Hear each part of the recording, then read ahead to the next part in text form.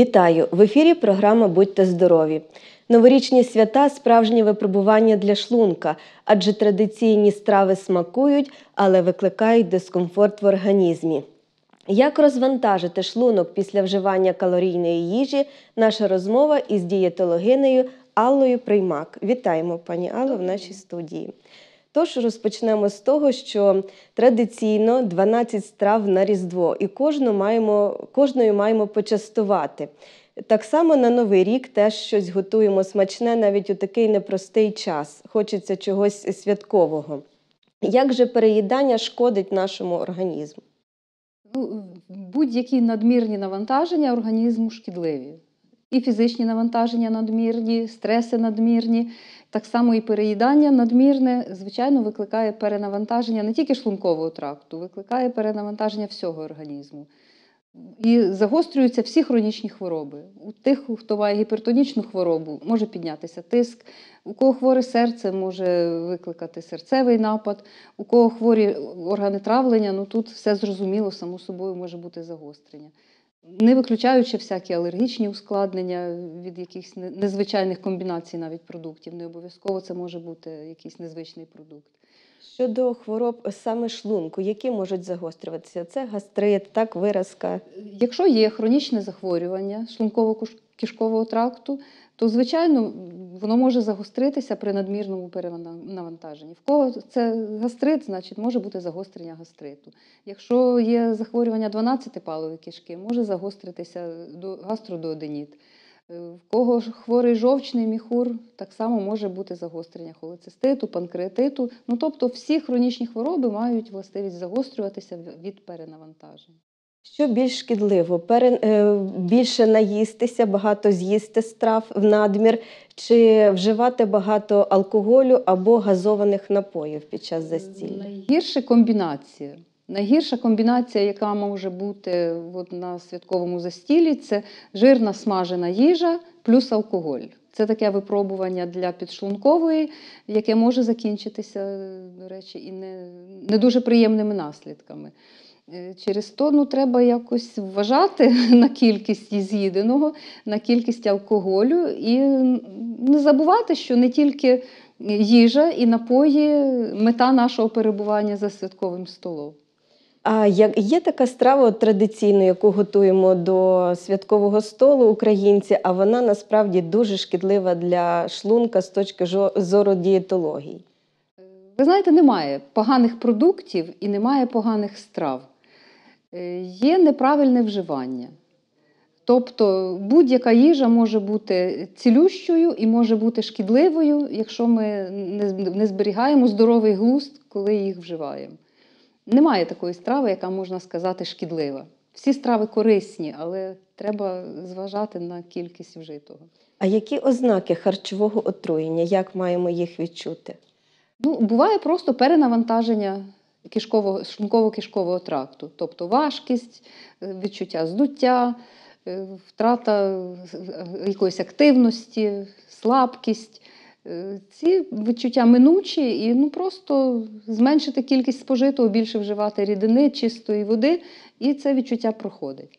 Якщо виникають такі стани, які лікарі називають червоні пропорції, тобто е, гострий біль, е, нудота, блювота, діарея повторна, підвищення температури, то тут вже треба звертатися до лікаря за допомогою. І особливо хочу е, звернути увагу: не можна приймати при болю в животі знеболюючі ліки.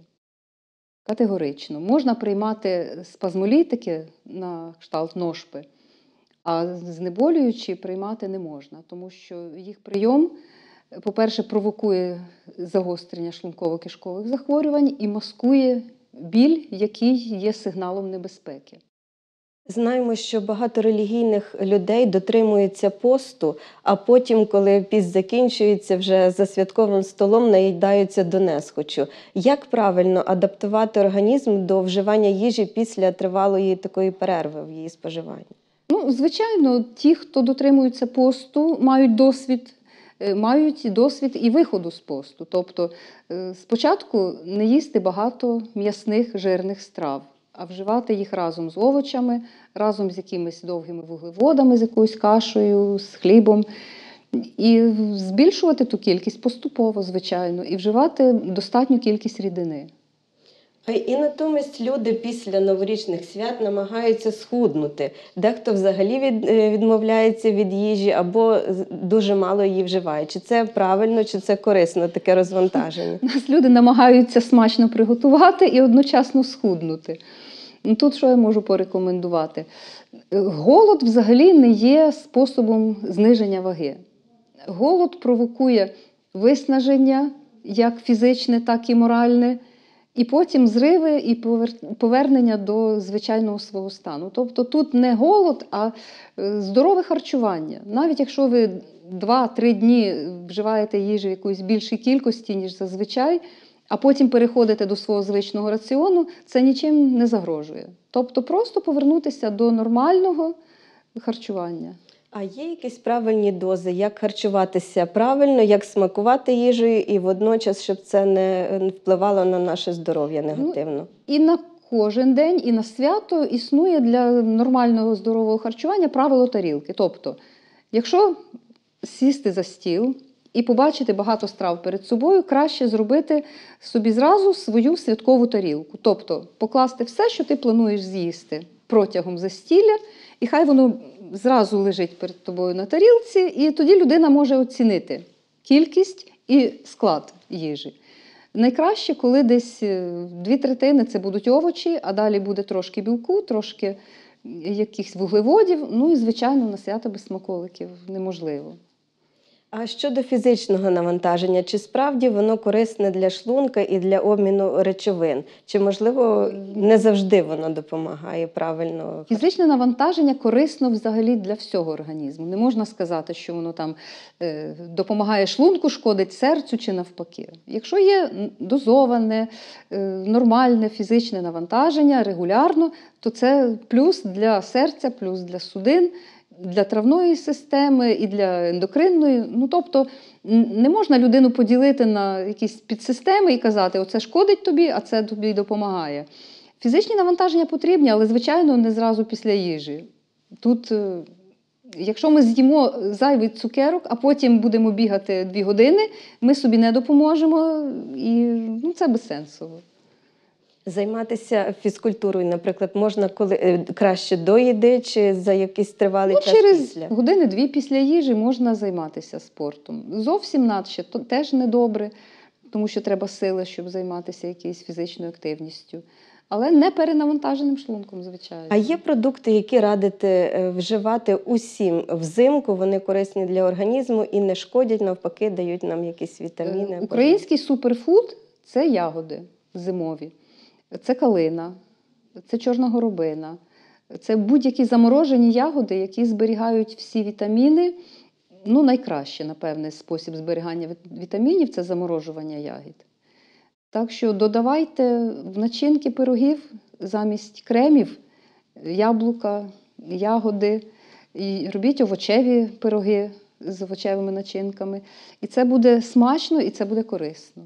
А в якому випадку людина має звертатися до дієтолога? Це завжди, коли вона має надмірну вагу, чи можливо інколи навпаки, коли вона надто худа, чи є якісь проблеми з травленням? В якому випадку Звертаються, звертатись можна будь-кому для того, щоб визначити для себе оптимальний раціон харчування. Тобто, ну, дієта це більш поняття для хворої людини. Тобто, поки людина хворіє, поки в неї загострення якогось захворювання, вона дотримується певної дієти. А далі це має бути здоровий раціон харчування. І тут вже трошки є варіанти, залежно від статі, від віку, від е, стану здоров'я.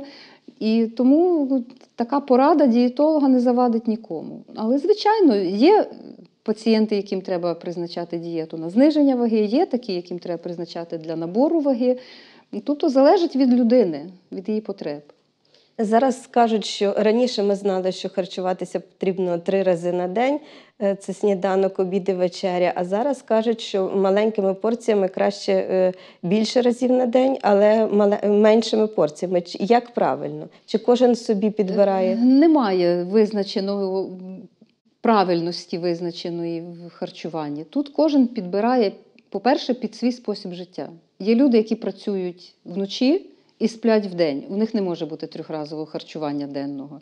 Є люди, які ну, не можуть снідати. От не можуть і все. Ну так само не треба, не треба намагатися підлаштувати свій раціон під якісь правила. Треба дослухатися до свого організму. А вживати треба певну кількість їжі протягом дня. Тобто, ви оцю кількість їжі, яку ви маєте вжити, можете вжити за два рази. Можете її розділити на три рази, можете поділити на п'ять, але все рівно це не має бути збільшення об'єму. А діліть раціон настільки, наскільки вам зручно. Чи обов'язково мають бути перші страви в е, щоденному раціоні? Чи можливо це? Ну, зараз е, вважається, що перша страва не обов'язкова. Достатньо раціонального харчування, тобто, щоб там було достатньо овочів, щоб там був білок, щоб там були довгі вуглеводи, обов'язково овочі і фрукти кожен день, рідина в достатній кількості, і тоді ви можете не обов'язково їсти суп. Там, ну, якщо ви його любите, то не заборонено, але обов'язково ні, нема такого. Як маємо е, відчути, що от все досить ми вже наїлися? Чи правду кажуть, що от ставати зі столу треба з легким е, таким відчуттям голоду? Чи ми маємо відчути, що ми вже наситилися? Треба їсти не швидко. Тобто наш мозок із шлунком вони працюють е, е, чуть-чуть з запізненням. Поки шлунок насичується, е, мозок не аналізує, що ми наїлися. Через то рекомендують їсти завжди насидячи, на тарілку викласти все, що ти маєш з'їсти, жувати добре їжу, і щоб цей процес тривав ну, 20-30 хвилин. Тоді, якщо їсти свою визначену порцію протягом цього часу, от тоді прийде відчуття ситості, і тоді важко буде переїсти. Чи є якісь продукти, які не радите вживати, наприклад, не тільки взимку, а взагалі, можливо, це якісь е, швидкого приготування, або які з добавками якимись хімічними? Виключити повністю всі шкідливі добавки, всі шкідливі елементи в наш час неможливо. Тому е, зараз вважають е, спілка дієтологів, що наш раціон має на 80% складатися здорової їжі, ну а 20% можна собі дозволяти кудись відступити, тому що ну, людина в соціумі, вона в оточенні інших людей, деколи потрапляє в таку ситуацію, що ну, вибору немає. А деколи просто хочеться чогось смачненького. На жаль, вся смачна їжа вона або жирна, або калорійна, або шкідлива, і обмежувати себе ну, не можна. Е, Коли звертаєшся до дієтолога, це завжди тільки от дієта харчування, раціон правильний, чи це якесь ще медикаментозне лікування може бути навіть? Е, Може бути і медикаментозне, тому що дієтолог ніколи не працює сам. Він працює або з гастроентерологом, або з ендокринологом. І тут е, обов'язково е, взаємодія кількох спеціалістів. Деколи з психологом треба працювати, навіть дуже часто треба з психологом працювати. Тому ну, це ціла якби, наука, і тут треба зважено підходити, коли обираєш, по-перше, лікаря, і коли оцінюєш результати, тому що наші результати не видно на другий день. Це не таблетка від головного болю. Це тривалий процес. А скільки може, наприклад, тривати? Це е, місяці, тижні чи навіть? Роки. роки може бути? Ну, так? дивлячись е, е, в залежності від ситуації, від пацієнта. Є випадки, коли людям е, все життя потрібно так, от е, простежуватися, бо в них Е. особливості організму. Всім людям потрібно все життя харчуватися правильно. З деякими, можливо, відступами там на, на свята і там якісь інші події. Правильне харчування нікому не шкодить. Просто ну, якби треба культуру харчування в нас виховувати. Напевне, з дитинства. А ми вже е, говорили про піст, е, про тимчасова перерва в, надмірному споживанні їжі. А от е, також кажуть, що голодування корисне. Чи потрібно такі розвантажувальні дні влаштовувати, щоб взагалі не їсти, можливо, навіть води не пити? Ні, воду пити категорично не можна. Від прийому води відмовлятися. Залежить від людини. Якщо людині комфортно день не їсти, вона може день не їсти, але вона нічого не втратить і не придбає за цей день. Вона придбає відчуття голоду, яке вона компенсує наступного дня. Ми вам дякуємо, пані Алло, за корисну розмову. Сподіваємося, що новорічні і різдвяні столи будуть здоровими.